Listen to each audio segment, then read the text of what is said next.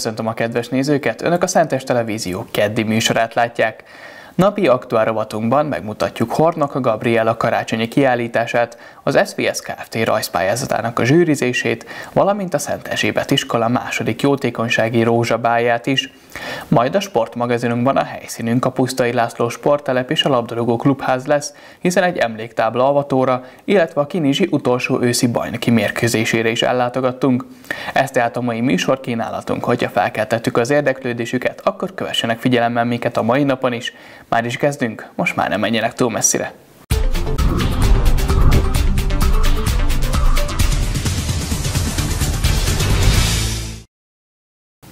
A Szentes Televízió napi aktuál rovatát látják, nézzük, hogy mit tartalmaz rovatunk.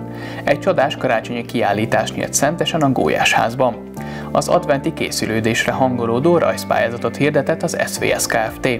Második alkalommal rendezte meg a Szent Erzsébet Katolikus Általános Iskola és Óvoda jótékonysági rózsabálat a megyeházán.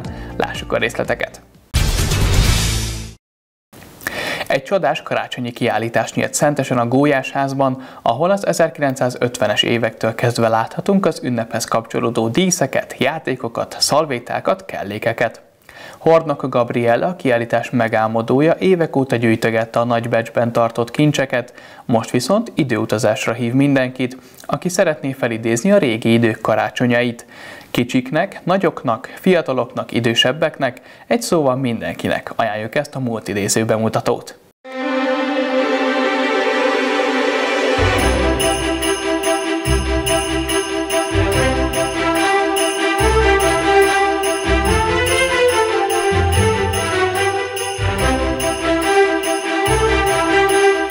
Gyönyörű karácsonyi díszbe öltözött a gólyásház itt Szentesen, és egy kis kiállítás is van lent az alaksorban. Minek köszönhető ez, Gabi? Hát onnan indul a történet, hogy három évvel ezelőtt leszázalékoltak, mert egy rosszul kiszakadt gerincsér miatt sajnos nem tudok ülni. És akkor én nagyon talajt veszítettem, nagyon, nagyon rossz állapotba kerültem, sajnáltam magam, és aztán azt mondtam egy idő után, hogy oké, okay, ebből elég, akkor kelljünk föl és csináljunk valamit. És akkor először elkezdtem ilyen kis kézműves dolgokat csinálni, dekorgumi, karácsonyfa díszeket, meg mindenféle dekorációt otthon a lakásban.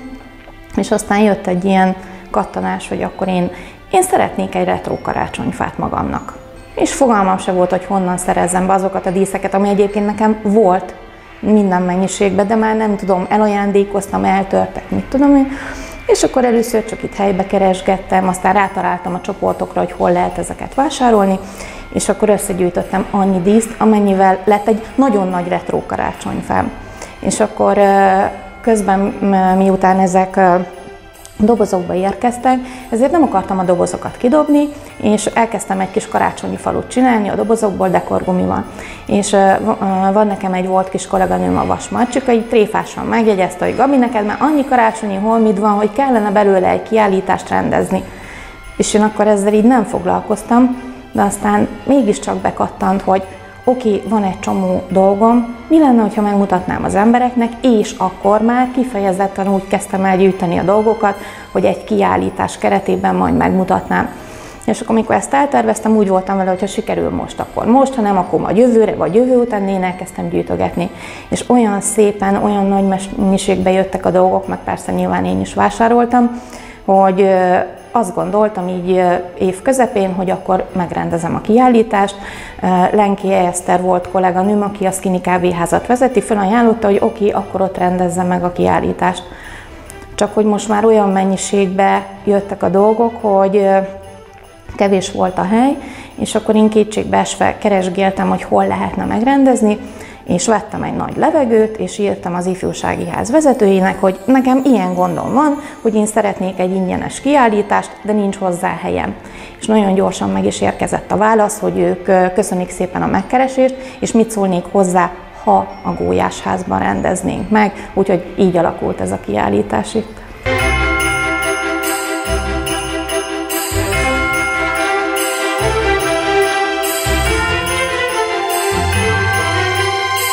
Számít retrónak, ha a karácsonyi díszeket Retro, hát a 90-es évektől visszamenőleg. Itt többnyire retro dolgok vannak, egy-kettő olyan dolog van, ami nem 90-es évek előtti, azok a szalvéták egy része, vannak képeslapok, ami 90 utáni, illetve pár dekorációs elem, mert az volt a kérése a gólyásháznak, hogy ha már kiállítás, akkor dekoráljuk ki az ablakokat is, hogy kintről is lehessen látni, és egy pár dekoráció későbbi de egyébként minden más 90-es évek előtti.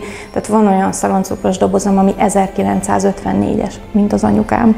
Honnan sikerült például ilyeneket beszerezni? Nagyon sok olyan oldal van az interneten, ahol árulják ezeket a régi dolgokat, Egyrészt onnan, másrészt én folyamatosan hirdettem magam minden elképzelhető oldalon, hogy én keresem a megunt vagy feleslegesé vált régi dolgokat és akkor egy része adomány, más részét meg én vásároltam. Például a szalon cukros dobozhoz ilyen kis pár forintért jutottam hozzá, mert aki eladta nekem fogalmam se volt róla, hogy ez egy mekkora érték. Én kettő hónapig vadáztam, hogy ez mikori lehet ez a szaloncukros doboz, mert már senkinek nem rém lett, hogy ez a közlin név, ez mihez köthető. És akkor nagy nehezen eljutottam oda, hogy kiderült, hogy a Közlin cég az a Győri Kexis ostyagyár elődje, és akkor én felvettem a kapcsolatot olyan dolgozókkal, akik ott dolgoztak, és még esetleg ismerhették ezt a dobozt, és akkor egyöntetően azt mondták, hogy ez egy 1954-es doboz. Megérkezett egy csomag, gondolom elkezdtél benne nézelődni. Mindig találtál benne valami újdonságot? Ó, persze. Hát nekem az volt az első, hogy hazaértünk, mit tudom én, vagy a postáról hoztunk el egy csomagot, vagy a Fox posztautomatától, vagy az MPL automatától, és akkor én eldobtam mindent, se főzés, se mosogatás, semmi, kezdjük el a dobozt kibontani, és akkor hát természetesen mindennek örültem. A legkisebb dísznek, a legnagyobb dísznek, a legöregebbnek, a legfiatalabbnak, mindennek. Én karácsonyimádó vagyok, nekem jöhet minden. Te a 90-es évek előtt még kislány voltál, azt lehet mondani, tehát kislánykori emlékek is fűznek ehhez az időszakhoz? Igen, igen, igen, igen. Van kettő olyan díszem, ami sajnos nem az enyém volt eredetileg, de pont ugyanolyan, és nekem azok azért fontosak, mert az apai nagymamámtól kaptam olyat, és eltörtek, és már a nagymamám nem él, és igazándiból rájöttem, hogy nincs is tőle semmilyen tárgyi emlékem, és elkezd, elkezdtem keresni ezt a kettő díszt. Az egyiket egy év alatt sikerült megtalálni, a másikat kettő év alatt pont az idén, és az az érdekessége, hogy mind a kettő díszt egy embertől jött, de sem ő, sem én nem tudtuk, hogy én vagyok az, aki mind a kettő díszt keresi. Mi jellemző ezeket a retro díszeket? Milyenek voltak akkor a szokások? Ha megnézitek, akkor nagyon színesek, mind üvegből készültek kézi technológiával, tehát fújták is őket, meg kézzel festették, és nagyon nehéz kettő pontosan egyformát találni, pont ezért, mert kézzel készültek. Mindnek van valami jellegzetessége. Én, én gömbimádó vagyok egyébként, tehát én órákig tudom rakosgatni, pakolni, meg nézegetni a gömböket, mert mindegyiknek nagyon egyedi és különleges mintája van. Miket ábrázolnak ezek a díszek? Mert ugye a gömböt most említetted, de azért tudjuk, hogy volt itt most kiskacsák. Ah, kismillió, kismillióféle figurális dísz létezik. Nekem például a kedvenceim a másik vitrínben vannak, azok a kis figurák, azokat én nagyon szeretem. Azt gyártották több helyen, Lengyelországban, Csehországban, meg a, a, a régi NSK-ban. Akkor rengeteg gyümölcs, zöldség, féle állatkák, nem, hát én nem is tudom felsorolni, hogy hányféle mindent. Én például a, a harangformát is nagyon szeretem, ami ugyan nem csilingel, de ott van, ebből nekem több is van mert én nekem azok is a kedvenceim. Vagyis hát igazándiból mind a kedvencem, de mondjuk azt, hogy a harangforma is a kedvencem.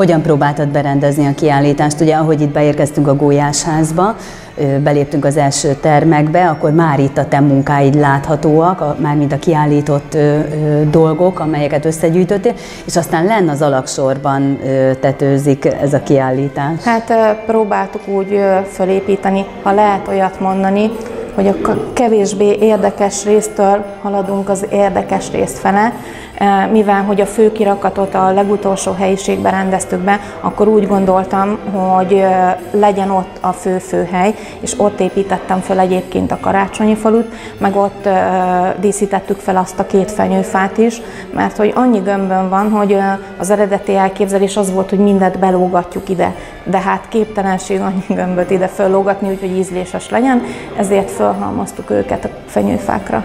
Tehát vannak olyan díszek, amelyek a fenyőfára kerültek, karácsonyi retro díszek, és vannak olyanok, amelyek mondjuk a fa alá egy-egy kis játékjelkép. Igazándiból a, a falu az az, az az én saját termékem, ha lehet így mondani. Ugye dobozokat vontam be dekorgumival, és volt egy koncepcióm, amikor ez elkészült, hogy én valahogy megpróbálok egy ilyen mini teret létrehozni egy adventi vásárral, és akkor csináltam oda kis céllövöldét, forralt borost, meg mit tudom én, különböző standokat, meg céllövöldét, meg óriás kereket, stb. Csak ennek az lett a hátránya, hogy én ezt nem mértem le otthon, hogy ez majd hova fog elférni, és amikor elhelyeztem otthon, nem jött össze a főtér. Tehát ezek a különböző darabok az én szekrényem különböző részeire kerültek, és akkor, amikor én megláttam ezt a nagy helyiséget hátul, akkor egyből körvonalazódott, hogy oké, okay, a falum az nem retro, de én ezt szeretném megmutatni abban a formában, ahogy én azt elképzeltem. És akkor itt most felállítottam azt a kis főteret, ahogy én, én szerettem volna. Az épület az december 17-től zár, addig látogatható, lehet bejelentkezni is a Petránál, tehát akkor is be lehet jönni, amikor egyébként nincsen semmilyen foglalkozás, illetve a főkirakatot azt nem zárják be, tehát az még december 17 után is látogatható lesz egészen januárig. Gabi, kiknek ajánlod ezt a kiállítást? Hát én ezt mindenkinek. Kicsiknek, nagyoknak, korosztálytól Kicsik, függetlenül? is, nagyoknak is, korosztálytól függetlenül, mert azt gondolom, hogy a karácsony az mindig is örök volt, mindig is örök lesz, és aki szereti a karácsony, meg szereti a karácsonyi dolgokat, az itt, az itt jó helyen lesz az én kiállításomon.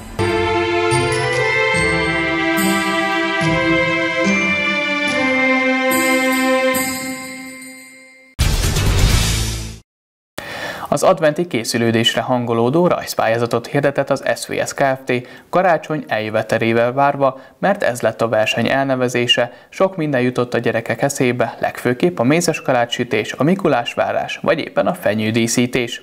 A rajzok már túl vannak a zsűrizésen, és a központi konyha ebédlőjében várják, hogy a közönség is szavazzon rájuk.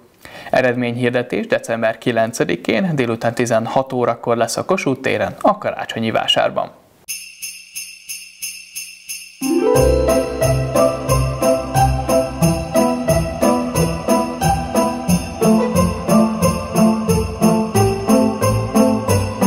Az SZVSZ Kft. ismét meghirdette karácsonyi rajzpályázatát, ezúttal az advent témakörben. Hogyan jött ez az ötlet, milyen ö, alkotások születtek, és mennyi legfőképpen ez a kérdés? Nem akarom sajnáltatni magunkat, de egyre nehezebb a témát kitalálni. Ugye most úgy próbáltuk a témát meghatározni, hogy gyakorlatilag bármit bele lehessen varázsolni, vagy bele lehessen álmodni, bármit, ami, ami karácsonyi témájú. Nagyon örülünk annak, hogy több mint 250 rajz érkezett. Nagyon jó látni az eredmény hirdetésekkor, amikor ott a, a sugárzó szemekkel várják az eredmény hirdetést a gyerekek, és úgy halljuk a pedagógusoktól, óvónőktől, tanárnőktől, hogy nagyon-nagyon készültek a gyerekek, úgyhogy örülünk, hogy ennyi pályamű érkezett. A támogatók száma is növekedett az idén. Kik azok, akik mellé állnak ennek a pályázatnak?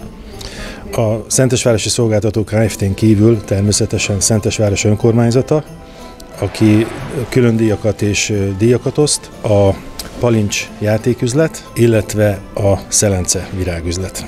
Hogyan sikerült megszerezni ezeket a támogatókat? Ezek az emberek, akik, akik egy ilyen virágboltot üzemeltetnek, vagy egy ötletes ajándékboltot üzemeltetnek, kreatívak, ötletesek, és egyből megtaláltuk egymást, és ugye ez most már nem az első kapcsolat, tehát most már azt mondhatom, hogy állandó támogatója a rendezvénynek.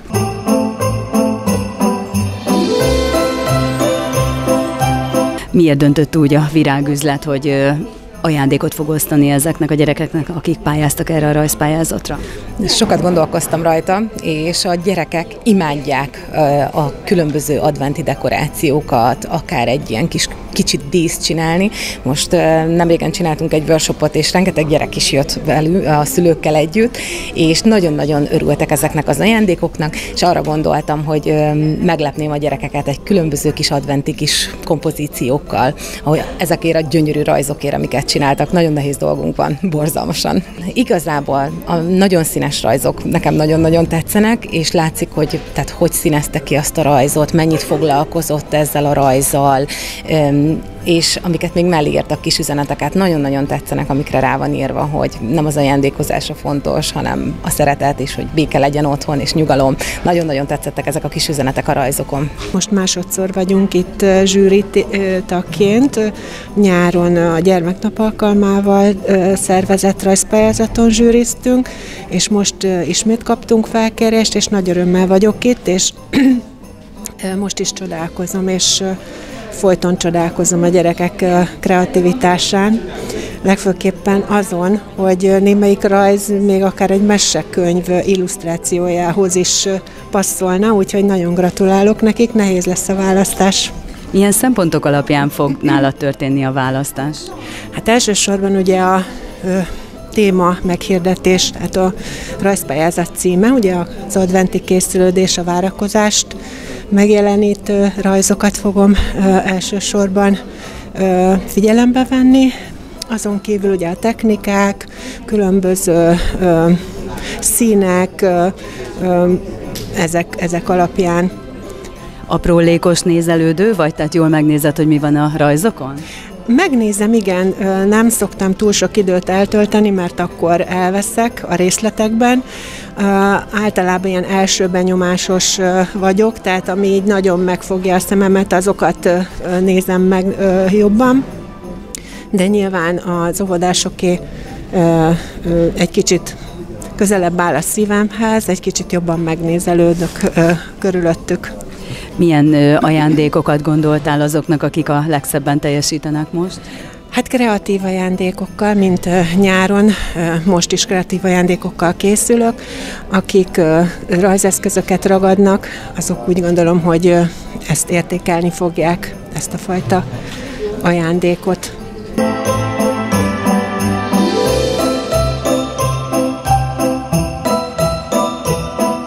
Sajnos volt most egy, egy hölgy, egy tanárnő, aki nem ért rá az idén, de természetesen polgármester úr sem ért rá, ezért alpolgármester úr zsűrizett, de a konyha élemezés vezetője Gyovainé Klárika itt volt, Tofán Sándor természetesen itt volt zsűrizni, illetve zsűrizett a a Szelence virágból tulajdonosa, és a Palincs játékból tulajdonosa. Fotós szemmel nézem azt, hogy melyik kép fog meg, mennyi munka van benne, látszik, hogy gyermekektől, ami elvárható, azon fölül teljesített dolgokat tudom értékelni jobban. És a, hát a többiek meg nyilván a írásnak megfelelően mindig so, sosem álltam a sorba. Kicsit kihúzok, és ez, imádom ezeket a gyerekmunkákat, nagyon szépek. Mi tetszik egyébként, amikor ezeket a munkákat nézett, tehát mire próbálsz odafigyelni? Azért ugye említetted, hogy nem a hagyományos szempontokat vezet figyelembe, de például... Elképzeléseket, az, hogy hogyan, hogyan rak össze egy képet hogy az advent is benne van, mondjuk a karácsonyfa, nem biztos, hogy az a legszebb munka, de az érzései a gyereknek ott mutatkozik, hogy átjön az érzés, és azt próbálom valamelyest pontozni. Számomra az első, hogy ezen a rajzpályázaton zsűriként részt veszek, de, de látni azt, hogy mennyi pálya remek érkezett, és szédítő technikákat használnak a gyerkőcök egészen már az óvodás kortól kezdődően. Nem is tudom igazán eldönteni még, hogy milyen szempontok alapján zsűrizzek. Nyilván van egy egy séma már, ami mentén megindultam, de nagyon-nagyon jó látni azt, hogy rengeteg gyermek a családot, anyut, aput, a gyermekeket, a, a szeretetet, az együttlétet próbálják visszaadni a, a rajzaikba, és, és nagy örömmel tölt az el, hogy persze van egy-kettő alkotás, ahol látszik a, a szülői segítségnyújtás, de hát ennyi, azt hiszem, hogy belefér minden egyes alkalommal de én próbálom azt szem előtt tartani, amelyiken valóban látszik, hogy a, a korát is tükröző, valóban a gyermek készítette önállóan. Nagyon-nagyon van már is egy pár személyes kedvencem közülük, úgyhogy nehéz a feladat, hiszen, hiszen rengeteg rajz van, de szerintem itt igazságosan el fogjuk tudni ezt dönteni.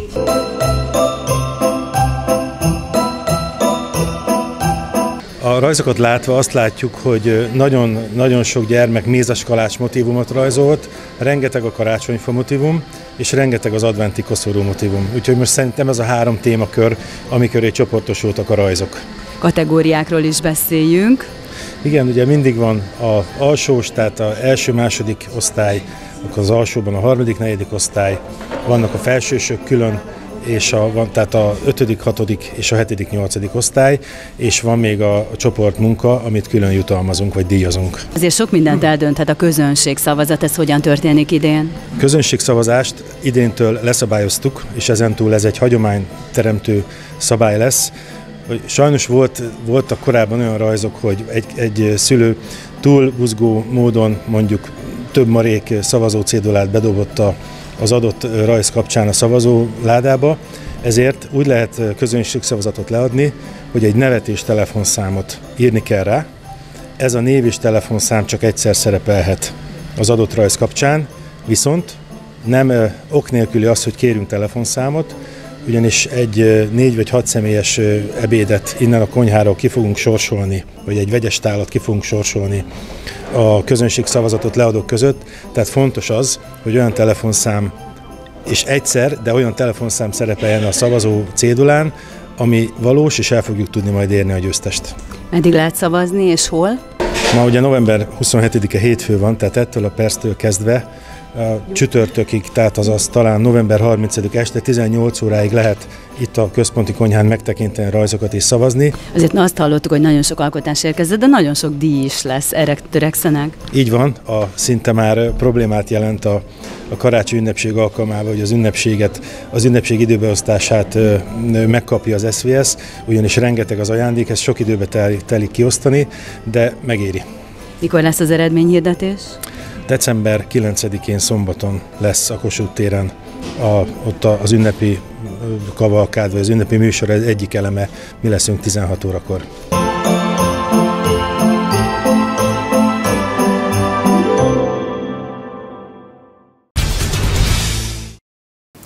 Második alkalommal rendezte meg a Szent Erzsébet Katolikus Általános Iskola és Óvoda a jótékonysági rózsabálat a megyeházán. Az iskola névadójának két hete futó program sorának ez volt a záró akkordja. Pedagógusok, szülők, ismerősök, barátok támogatták a jegy megvásárlásával az intézmény alapítványát, emellett egy nagyszerű estét tölthetek el finom vacsorával, zenével, tánccal, a tombolán pedig értékes nyereményekkel. A bálatnyitó műsort a Szilvár Táncsport Egyesület táncosai és az iskola egyik diákja adták.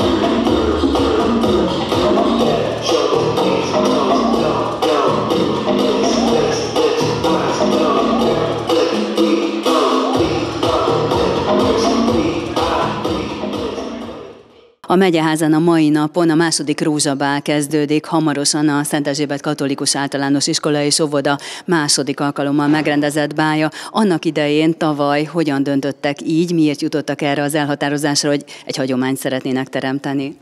A szülők szervezték meg a rózsabálat a tavalyi évben is, és ez már egy több éves elgondolás eredménye volt, hiszen a járványügyi helyzet is sok mindent befolyásolt, és nagy öröm volt számunkra, hogy a tavalyi tavalyi évben pont azért kapcsolódhatott hozzá, mert akkor volt a Szent Erzsébet Rózsái Alapítványnak a fennállásának a 20. évfordulója. Nem könnyű hagyományt teremteni egy-egy ilyen rendezvényel, de ha jól gondolom, akkor már az előző bál végén is eltervezték, hogy igen, jövőre lesz bál. Mennyire nehéz egy ilyet megszervezni? Hú, hát azt gondolom, hogy ez a kérdés lehet nem nekem kellene, hogy szóljon, hanem a szülőknek, hiszen óriási szervező munka van az ő részükről. Természetesen azért a tantestületben is több kolléga vesz részt a szervező munkában, de már tavaly megfogalmazódott bennünk, hogy annyira jól éreztük magunkat, és a vendégek visszajelzése is az volt, hogy idén megpróbáljuk még egyszer. Most is van egy bizonyos évforduló, amely kapcsolódik az ünnepséghez. 30 éves évfordulója van annak, hogy az intézményünk 1993-ban ismét visszakerült az egyház fenntartásába a helyi önkormányzattal történt megállapodás alapján. Ennek a bálnak a bevétele is jótékonysági célokat fog szolgálni. Hogyan képzeljük ezt el? A tavalyi évben 270 ezer forint jött össze a bálbevételeként, és nagyon nagy támogatója volt a rendezvényünknek a polgármester úr, és pontosan a tegnapi napon értesültem arról, hogy ismét támogatja a rendezvényünket, méghozzá még dupla összeggel, mint amivel a tavalyi évben járult hozzá. Ez nagy öröm egy iskola számára. Mire fordítják, mire fordítja az alapítvány a bevételét úgy általában? Hát alapvetően itt a Szent Erzsébet napi programok, sőt már mondhatom, hogy heti rendezvényeknek a színvonalos, színvonalas megvalósítására, illetve tanulmányi kirándulások támogatására, versenyeken fizetjük a, a tanulók nevezési díját, és ez nagy könnyítés a családok számára egy nagyon jó hangulatú este kezdődik, ha a tavaly évből indulunk ki. Mit jelent ez a tanári gárda szempontjából?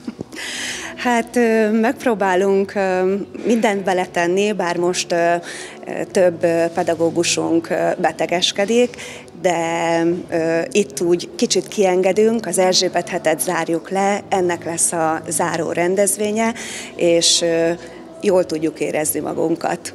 Azért azt is tegyük hozzá, hogy bárki számára nyitott ez a rendezvény, tehát nem csak szülők, nem csak pedagógusok vesznek itt részt? Igen, mindenki számára, aki szeretné egy kicsit támogatni a rendezvényünket, őket szeretettel hívjuk és várjuk minden évben.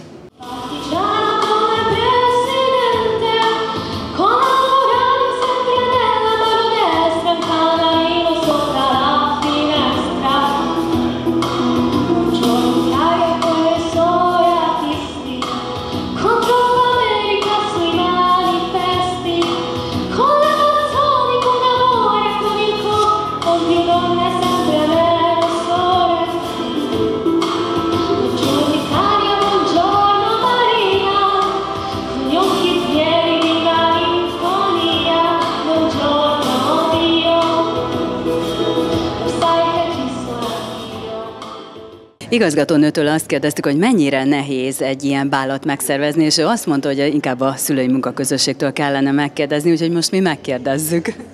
Így van, valóban Horváth Pliesoszki Zita szülőtársammal az Szentesébet iskola SMK vezetőjével ketten vittük a munkaorosztán részét, úgy gondolom. Természetesen csapatmunka volt, de azért a legtöbbet mégis mi próbáltunk megtenni azért, hogy ez a bál idén is életre keljen. Azért ez a bál egy hosszú folyamatnak az utolsó fázisa. Mit kell tudnunk az elmúlt hetekről? Hát talán ne hetekbe mérjük, hanem inkább hónapokban, amikor elkezdtük. Egyáltalán megfogalmazódott a terv, illetve a gondolat, hogy a tavaly nagy sikerre való tekintettel idén is megszervezzük ezt a bálat, és hát bizony egy jó két hónappal a, dát, a kiírt dátum előtt már elkezdtük szervezni, de nagyon szépen minden összeállt a végére, és nagyon remélem, hogy idén is ilyen jól fog sikerülni, mint tavaly mennyire összetartó a szülői gárda itt az iskolában. Itt az előbbi kérdésemnél arra is gondoltam, hogy egy olyan két hetet tudhat az iskola maga mögött most már, ami igazán megmozgatott ö, diákot, pedagógust, ö, szülőket, hiszen két napig árultak a vásárban a szülők, ami már hosszú évtizedek óta divat. Így van, én azt gondolom, hogy majdnem, hogy példátlan a Szent Erzsébet iskolának a szülői közössége. Nem is nagyon tudok olyan jól együttműködő közösségről a városban, mint ez a miénk. Pont a minap számoltam hogy 14. éve járnak a gyermekeim ebbe az iskolába, úgyhogy bőven volt rálátásom mindenféle szülői közösségre, de mit sem változott a dolog. Nagyon jó és összetartó csapatról beszélhetünk. Hogyan zajlik a mai este? A mai este a vendégek fogadása zajlik éppen, most érkeznek, most szállingoznak, utána egy picike műsorral kedveskedünk a vendégeinknek, és utána indul a fergeteges buli. A műsorról talán annyit, ugye, hogy a Silver Tánsport Egyesület hosszú évek óta működik együtt az iskolával, és az ő bemutatójuk lesz látható. Tehát olyan diákok szerepelnek a műsorban, akik az iskola tanulói és büszkeségei. Ez így van, mindenképpen igyekszünk minden évben arra törekedni, hogy az iskola diákjai közül válasszuk ki a kis tehetségeket. Most itt Deák Lóránt fog énekelni, gyönyörű hangja van, egy olasz dalt fog számunkra énekelni, illetve a Silver TS tanulói, akik szintén a Szent Erzsébet iskola tanulói is egyben.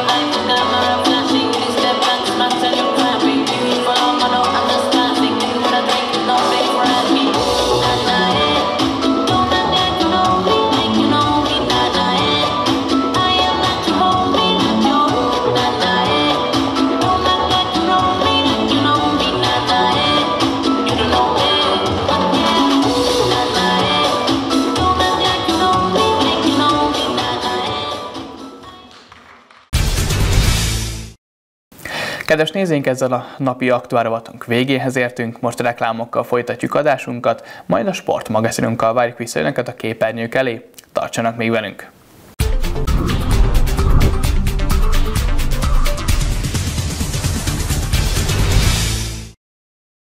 A következő műsorszám 12 éven aluliak számára nem ajánlott.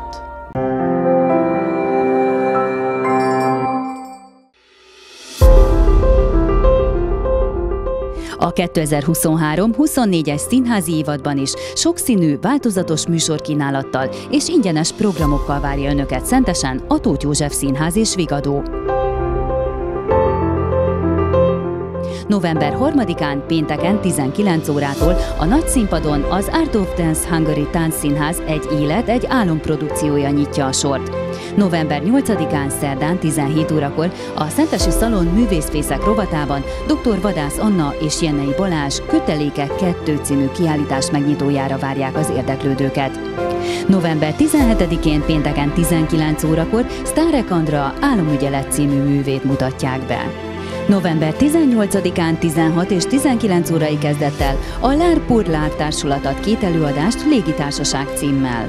November 23-án csütörtökön 19 órakor kezdődik az Ének Évek zenés talk show, ahol a zenével a Rákos Gyermekekért Alapítvány vendége az énekművész Kökény Attila lesz. November 28-án és 29-én indul a Színház gyermekbérletes előadássorozata Bozsó József darabjával, a Mátyás és a Bolond királlyal a Békés Csabai Jókai Színház művészeinek előadásában.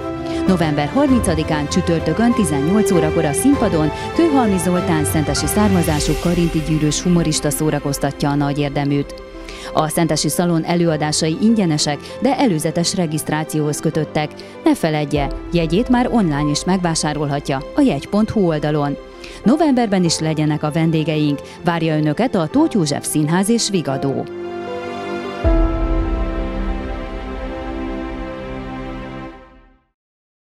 A tavasz első napsugarai melengedték. Harmadcseppek és méhek szárnyai simogatták. Szentesi termelők gondozták, hogy természetesen zamatos ízével szolgálja egészséged.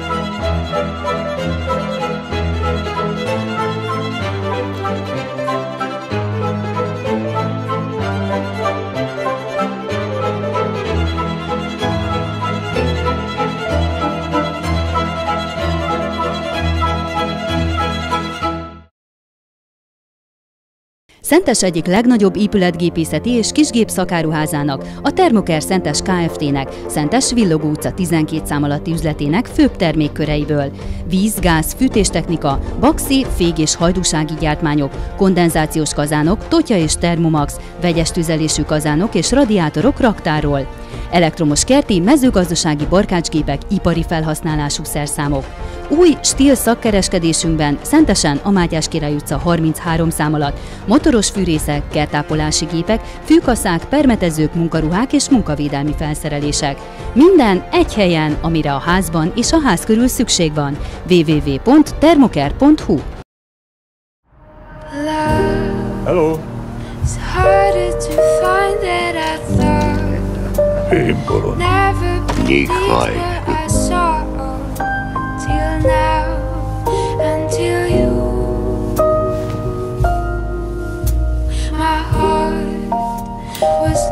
cold like oceans and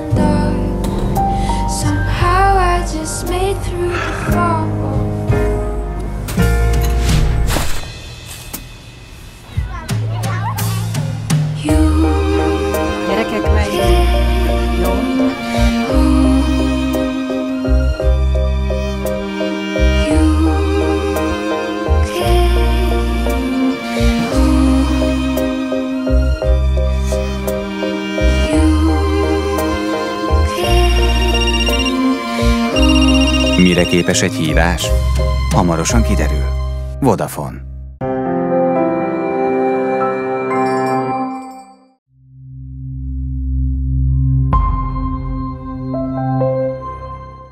A Gyurcsány korszakban úgy táncoltak, ahogy Brüsszelben fügyültek.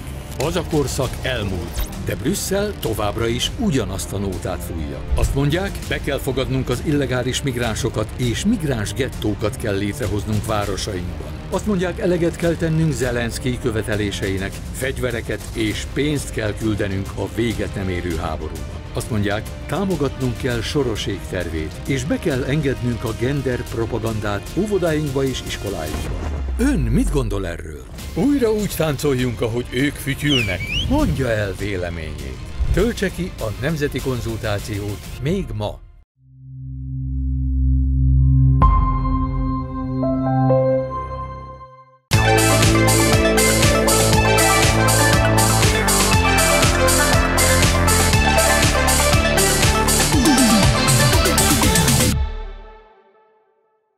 Ez már a Szentes Televízió sportmagazinja, ELTI magazinunk tartalmából. Centenáriumi táblavató ünnepségen vettünk részt a Szentesi Kinizsi Szite klubházában. Vereséget szenvedett az utolsó őszi bajnoki mérkőzésén a Kinizsi a Balástya együttese ellen. Jöjjenek a részletek!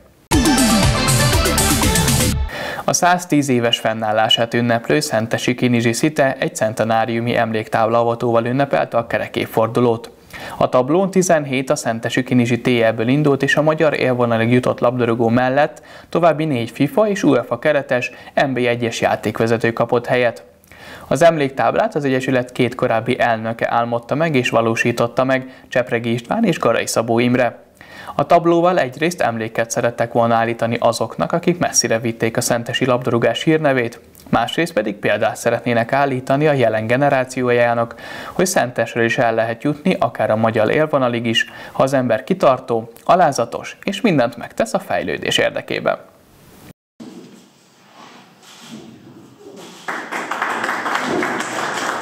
Ezt maga az a tizenvalahány emberes játékos kérte azt, hogy őről készüljön egy ilyen emléktábla és ennek a avatására kerül most is sor, és az a négy játékvezető, aki itt a Kinizsibe futballozott, és innen indultak el a pályájuk. Majd erről bővebben beszélek a tablónál, Ugye nem sokat akarok én beszélni, de mindenkiről mondok egy-két pár mondatot, azért mondjuk a Pádárlac is azért a Szanszíróba eljutni, ott a mérkőzést vezetni, akkor ott volt ugye a Tóth Laci, az is egy elismert játékvezető volt, a Csányi Józsi is, és a játékvezetői testületére a Gécilais bácsi, aki egybe edzője is volt a Kinizsinek, nagyon sokat tett a szentes labdarúgásának a játékvezető utánpótlásáért. Önnek milyen helyet foglal el a szívében a Szentesi Kinizsiek a csapata? Hogyan emlékszik vissza azokra az évekre, amit itt töltött? Hát azért nem kevés évről beszélünk az ön tekintetében. Igen.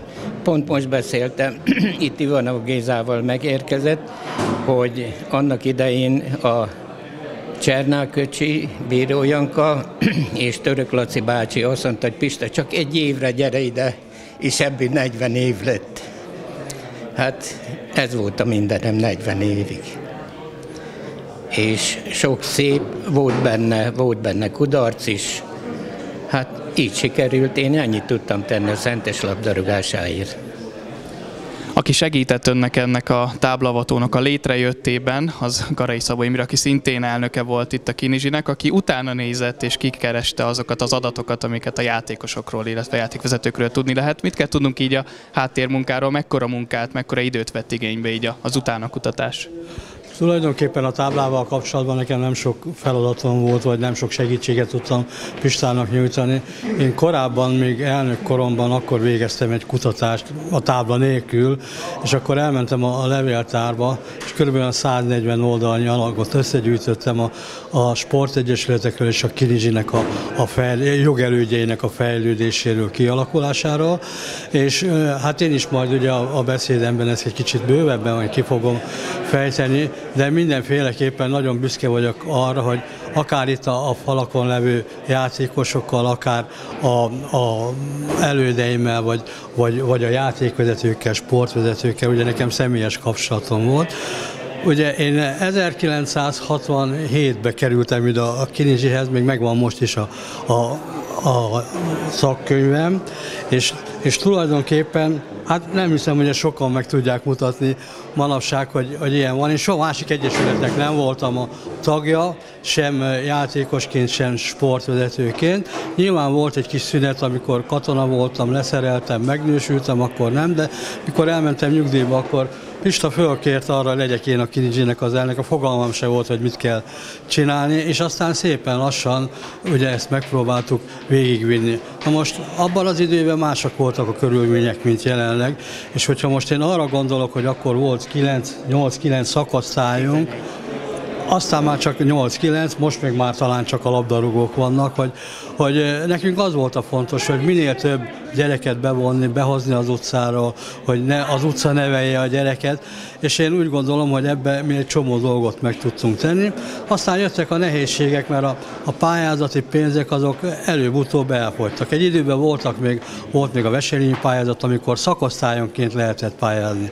Aztán már csak egyesületi pénzek voltak, és hát amire talán az egyik legbüszkébb vagyok, hogy sikerült a, a száz éves Kirizsinek az öltözőjét is felújítani, és pont két 2013-ban, mikor száz éves volt az Egyesület, akkor már igazából ennek a, a, a eredményét is láthattuk. És én úgy gondolom, hogy hogy Szentes egyik legrégebbi sportegyesülete, sőt, hogyha az alakulást nézzük, akkor a legrégebbi sportegyesülete a Szentesi Kinizsi.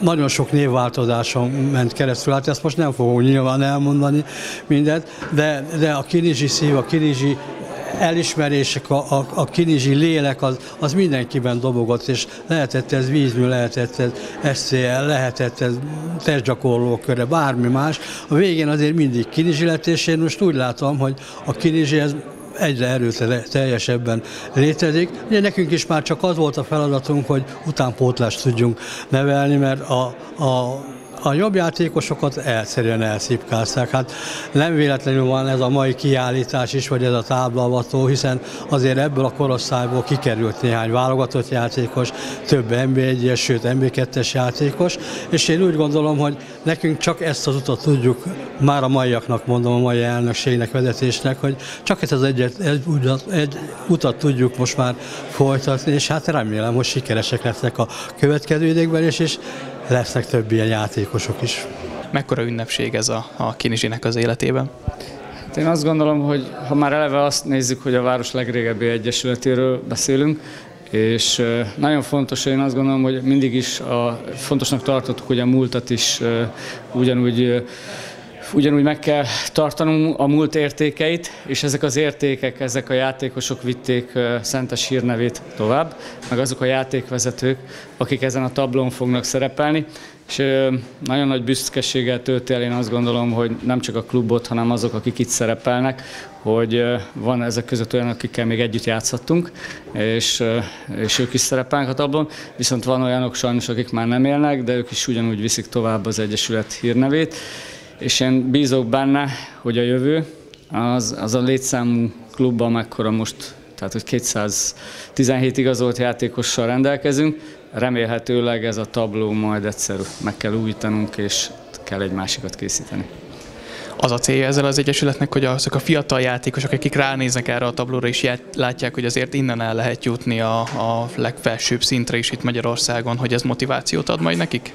Én azt gondolom, hogy igen, mert ez is volt a cél. Ugye most egy kicsit megint a múltba kell, hogy azért visszatekintsünk. Ugye amikor itt egyesültek, egyesült három klub, ez is volt a szándék, hogy a közös, közös lépés, tehát közös egyesületként fellépve könnyebb helyzetben, könnyebben tudnánk ezeket a játékosokat tovább támogat, tovább léptetni, tovább kerülni egy magasabb szintre. Én azt gondolom, hogy helyek közel valamilyen szinten ez már elindult. Van megállapodásunk ugye a Budapest Honvéddal, és itt a megyében most úgy néz ki, hogy a, a megyei labdarúgás is egy olyan irányt indított el, ami a felfele áramlásnak szerintem egy jó formája. Ugye itt az első lépcsőn állunk Hódmezővásárhely, és a második lépcső az pedig a Szeged Grosics Egyesület, tehát én azt gondolom, hogy a gyerekeknek itt van egy előremutató kép, de hogyha nem lesz mindenkiből profi labdarúgó, hanem egyáltalán a közösség meg a labdarúgás szeretetét elsajátítja, akkor már elértünk valamit. Miért fontos megőrizni a múltat, és így példát mutatni a mostani generációnak? Az látszik, hogy a labdarúgás, mint sportot azért Magyarországon eléggé kedvelik. Az, hogy néhány nappal ezelőtt ilyen bóbiskoló állapotban a Magyarország-Montenegró meccset követtük mi is külföldön, és először egy kicsit lehangoltak voltunk, amikor egy óra vezet mondta Montenegro, majd pillanatokon belül a kettő egy, majd három egyre győztünk, és az az óriási ováció, ami a, az arénában kitört, és egyáltalán, hogy kijutottunk az Európa bajnokságra. Szóval csoda dolgok ezek, és azért lényeges a kérdésre válaszolva lassan, hogy, hogy a gyerekek eh, itt lássanak példákat, eh, helyben is szentesen azok eh, közül a sportolók közül, akik az nb 1 eljutottak, vagy éppen bíróként eljutottak, mert ezek elérhető közelségbe kerülhetnek a számukra is, és most nézve a nemzetközi például a Premier League-ben szereplő magyar futbalistákat, a végén ez egy olyan nyitott lehetőség mindenki számára, aki tehetséges és nagyon szorgalmas, és nagyon sok munkát fektet ebbe a sportba, hogy bárhova el lehet jutni, ezt most már valóban nap mint nap, hétről hétre, hónapról hónapra bizonyítják a magyar futbalisták. Szóval jó itt lenni, nagyon kíváncsiak, nem láttam még a tablót, ugye 17-4, ez a 21, ez egy szép kerek és szerencsés szám, szerintem biztos, hogy gyönyörű az a múlt, ami a tablón be van mutatva, aztán ahogy hallom már itt fél szavakkal és fél gondolatokkal, lesz majd következő tabló is, azok, akik Szentes térségéből, tehát nem csak a Kinizsiből, Szentesről, Szentes térségéből jutottak el ezekre a csúcsokra és ezekbe a magasságokba, igen, hagyományt kell ápolni, tehát amikor az ember ugye visszagondol Puskás Ferenc korára, vagy egy kicsit még korábbra, azokra a bőrlabdákra, rövidgatja, póló, trikó, trikóra, vagy éppen Pelé filmjét megnézi, vagy David Beckham filmjét megnézi, akkor láthatja azt, hogy azért főleg a brazil játékosok honnan, milyen körülmények között hova jutottak el, hát Pelé vonatkozásában abszolút a csúcsra. Um, és ez a példa a hagyományőrzésen keresztül és a múlt tiszteletén keresztül mindenkit nevel. Ugye rengeteg tabló látható itt a klubházban különböző csapatokról, hogy kik szerepeltek itt. Ez a tabló hova fog kerülni itt a klubházban? Van-e már erre terv?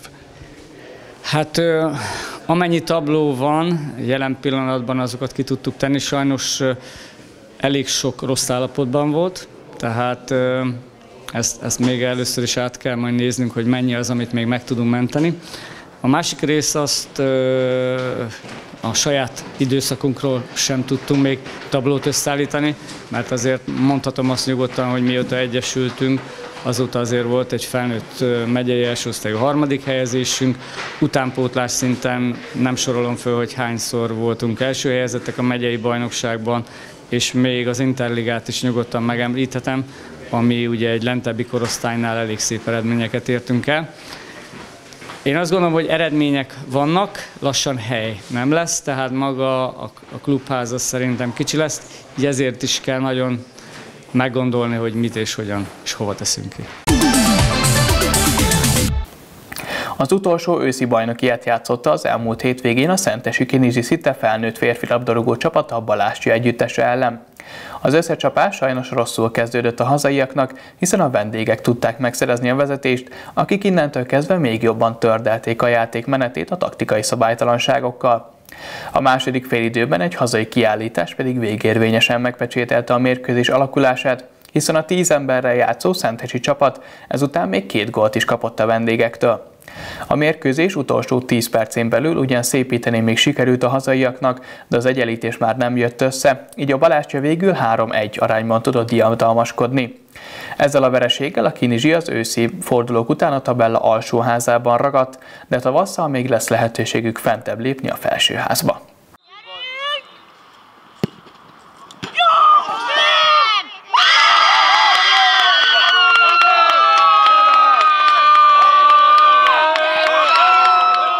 Az első félidő nehezen indult, ugye Balázs se szerezte meg a vezetést, talán ez rá is nyomta az első félidőre a bélyegét a mérkőzésnek.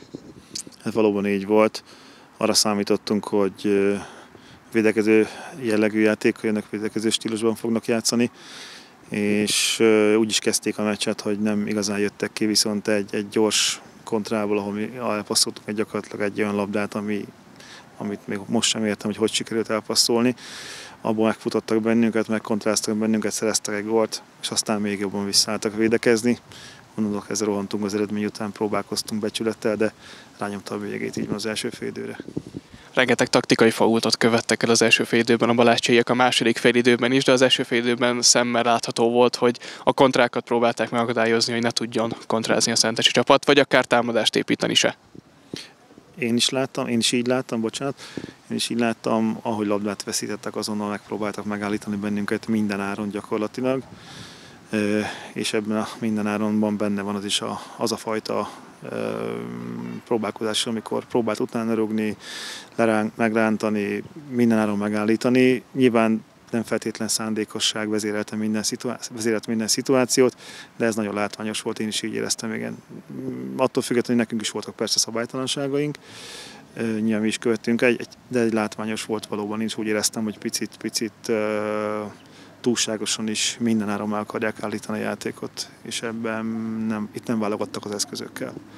És hát szemmel láthatólag igazából egyfajta játékuk volt, fölívelni a, a középcsatára a, a labdát, ő valahogy megtartja, lefordulni, vagy szabálytalanságokat harcolt ki, igazából ez az egy játékuk volt szinte az egész mérkőzés alatt.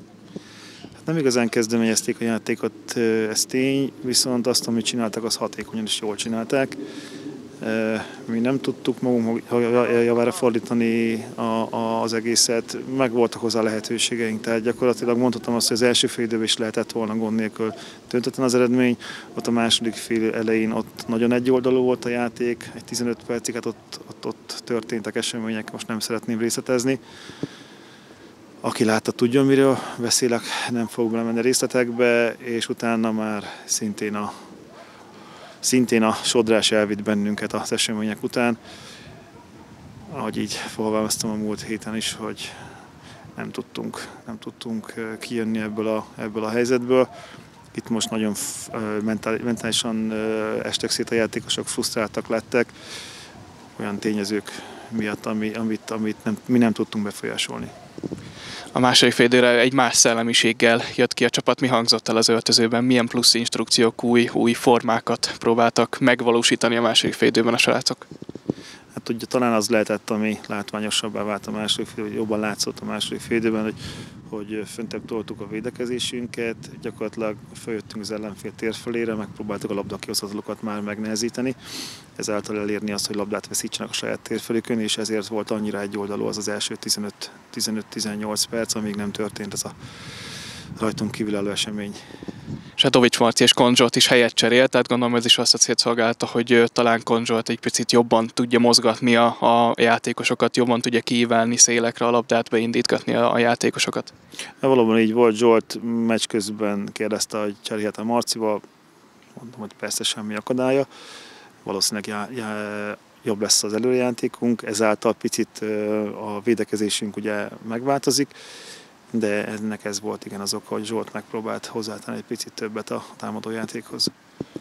Aztán pedig ugye itt a kiállítás után ott jött kettő Balázscsai gól, ami talán végévéresen megpecsételte az egész mérkőzésnek a sorsát. Még itt az utolsó 10 percen belül azért a kinisnek sikerült szépítenie. Itt azért még volt tűz a srácokban, tehát azért ezt gondolom te is majd pozitívan értékeled bennük, hogy azért nem álltak, lementek folyamatosan, és szerettek volna még akár egyenlíteni is. Hát igen, ez, ez, ez egyértelműen elmondható. Én is azt éreztem, hogy az akarat meg volt. Nem mondom, hogy mindenképpen százszerzalékosan, de a csapat nagy részében meg volt az akarat és az utolsó pillanatig próbáltunk még emberhátrányban is gólt szerezni, illetve javítani az eredményen. Az a, az a kiállítás, igen, ott, ott történt egy olyan, olyan törés a csapatban, ami, ami utána azért egy, egy, egy, egy rövidebb ideig meghatározta a játékunkat. Nem mondom, hogy ezért kaptunk két gólt, de azt mondom, hogy benne volt mindenféle olyan, olyan esemény, ami, ami, a, ami az elmúlt előtte 5-10 percben történt a kapott gólokban. Tehát ott azért meg volt a frusztráció, meg volt még az, hogy nem voltunk rendben játékban, pozíciókban, ott, ott sok volt a problémák. Igen. Hát a Banástya ugye továbbra is erőltette ezt a védekezzünk tizen, aztán rúgjuk föl labdát és fussunk utána típusú játékot, és ez nekik jó, jól ment ma, tehát ilyen tekintetben azt mondom, elérték a céljukat, és teljes mértékben megérdemelten győztek. Mi próbáltunk játszani továbbra is, nem adjuk fel azt, hogy próbálunk játszani. Meg kell tanulnunk a, az ilyen mérkőzéseken úgy futballozni, hogy mi rúgjuk az első gólt, és azok a csapatok, akik, akik, akik nem akarnak különösebben játékot kezdeményezni, azokat a csapatokat ö, le tudjuk győzni. Ehhez az kell, hogy igen, meg kell találnunk azt a, azt a játékot, amivel gólt tudunk az ilyen típusú mérkőzéseken szerezni. A kapuban is történt változás, Jégemeri Zoltán védett a mai mérkőzésen, és hát volt jó néhány nagy bravúrja, tehát sokat köszönhetünk neki is. Mi történt itt a kapuban, hogy változás történt most itt az utolsó fordulóra? Valóban Zoli védett, Kotvics Dávid a múlt hét végén megsérült, olyannyira, hogy nem tudta vállalni egész héten az edzés sem a játékot a mai napon és ezért ugye Zolita nyáron, amikor igazoltuk, kicsit nagyobb tervekkel, most én, én beszéltem vele, segítsen ki bennünket, és ő készségesen jött és segített. És valóban volt néhány, néhány komolyabb védése, de a kapusnak ez a dolga. Még egy utolsó rövid kérdés, ez volt tehát a Kinizsinek az utolsó őszi bajnokia. Egy győzelemmel följebb léphettünk volna ott a felsőháznak a küszöbére, így viszont az alsóházban maradtunk. Hát gondolom nem ez volt a, a terv és a cél itt a mérkőzés előtt, hogy az alsóházban maradjon a csapat az őszi fordulók után. Valóban nem. Én a nyáron azt mondtam a fiúknak, hogy boldog leszek, hogyha az első hatban tudunk zárni, és ebben benne lehet bármi alapvetően nem is indultunk rosszul, nagyon sokáig ennek a reális esélye volt is, azon az utolsó néhány forduló az nagyon nem úgy sikerült, ahogy, ahogy kellett volna, vagy ahogy szerettük volna. És a mai meccs igazából szinte arról döntött, hogy ki a hatodik helyen az alapszakaszban, illetve bocsánat, az őszi, őszi szakaszban. Ha miénk a három pont, akkor mi, ha Balástya egy pontot szerez vagy győz, akkor ők végeznek ott, így most mi várhatóan a nyolcadik hely környékén tudunk terelni. A Balázs pedig a hatodik helyen fogja így a téli pihenőt megkezdeni.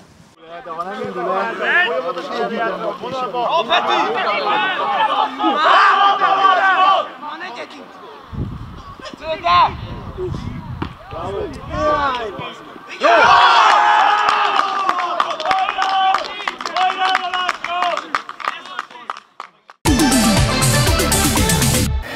Kedves nézőink, ezzel a sportmagazinunk és egyben adásunk végére is értünk. Legközelebb új műsorral szerdán fogunk jelentkezni már hagyományosan 17 órától. Az ismétléseinket minden páratlan órában indítjuk, de a közösségi média felületeken is elérhetnek bennünket. Már köszönöm megtisztelő és kitartó figyelmüket. Tartsanak velünk a legközelebb is. Szép napot és szép estét kívánunk mindenkinek a viszontlátásra!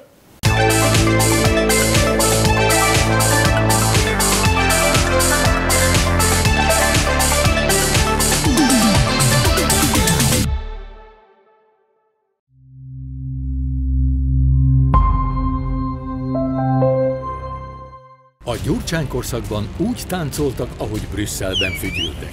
Az a korszak elmúlt, de Brüsszel továbbra is ugyanazt a nótát fújja. Azt mondják, be kell fogadnunk az illegális migránsokat, és migráns gettókat kell létrehoznunk városainkban. Azt mondják, eleget kell tennünk Zelenszky követeléseinek, fegyvereket és pénzt kell küldenünk a véget nem érő háborúba. Azt mondják, támogatnunk kell Sorosék tervét, és be kell engednünk a gender propagandát óvodáinkba és iskoláinkba. Ön mit gondol erről? Újra úgy táncoljunk, ahogy ők fütyülnek. Mondja el véleményét. Töltse ki a nemzeti konzultációt még ma.